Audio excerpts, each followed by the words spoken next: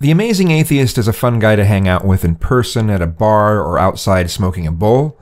I was just too nervous when I met him to have a good conversation. I had just little phrases I had memorized when I got a chance to talk to him. I didn't think I'd be that way about someone that's a celebrity or a pseudo celebrity, but I was. I guess I am. I think Dave Cullen would actually be fun to hang out with at a bar or smoking a bowl, possibly at a party, regardless of his political views.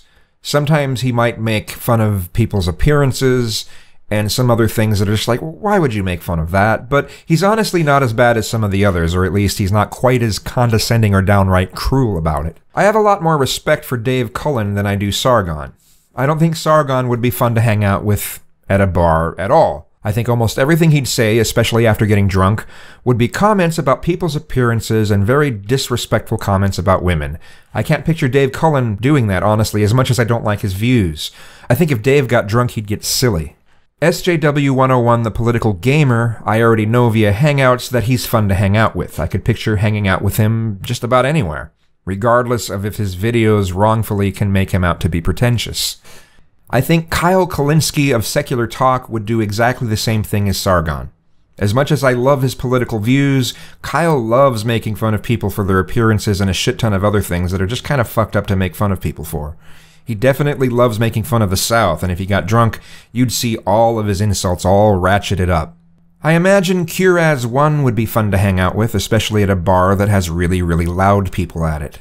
Luke would be fun to hang out with, but probably in a different setting than a bar. To me, it would be more fun to sit on a bench with Luke and chat while looking over the water. Von Helton would be fun to hang out with, regardless of some of his views and a bunch of other things that people like Blue and Secular Lobster and a number of others have made videos about ad nauseum. Based off of Hangouts, I think that Blue would be fun to hang out with as well as Secular Lobster. Cenk Uygur would not be fun to hang out with at all. He's again just like Sargon in that regard, but even more condescending. Keith Olbermann would be boring to hang out with, and I imagine he'd be condescending to those who don't revolve their lives around being professional. He's another one who would be likely to make fun of blue collar working class and the South. Mark Hidden would be a mixture. Sometimes I'd be uncomfortable, and other times he'd be a blast to be around. Jimmy Dore, same as Sargon, except the things he'd make fun of people for would be very different. Where most people would make fun of someone's pants, he'd make fun of their shirt.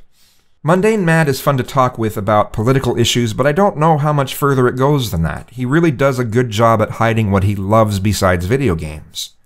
Brian J. 1962 is fun to hang out with, and I think he'd be fun to hang out with just about anywhere, though I only know that from hangouts and phone conversations, but he has a very wide spectrum of interests and views, and he can throw witty humor in at almost any given desired moment.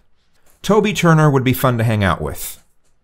Markiplier is too family focused to be able to have a lot of casual hanging out time beyond the gaming experience. So if he did, it would seem uncomfortable and rushed.